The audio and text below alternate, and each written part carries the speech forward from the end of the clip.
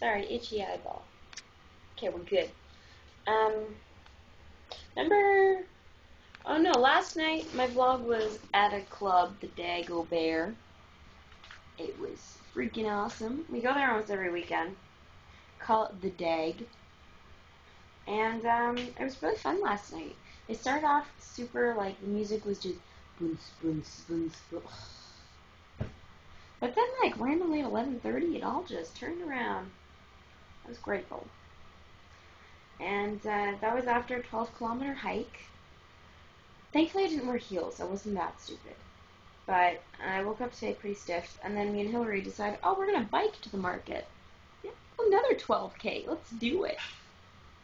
So my legs are not happy right now. They're not pleased. But oh well, they'll deal. Uh, what else did I do? I went to the Notre Dame Basilica Mass in French. It was beautiful, but I don't really, didn't absorb very much, unfortunately. I went with a friend this time, so it was much nicer.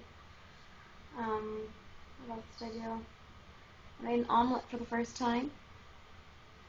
Good omelet.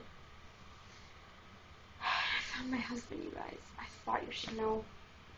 Patrick Huard. Mm. He's like oh, so versatile. I just respect versatility. He was in the movie Bon Cop, Bad Cop.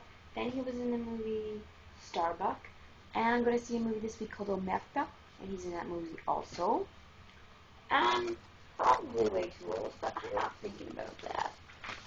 Doesn't matter, he's French. They take risks. Anyway, I'm gonna go to bed, or else my legs are gonna be just awful tomorrow. And I have to do laundry at 6 a.m. Talk to you tomorrow.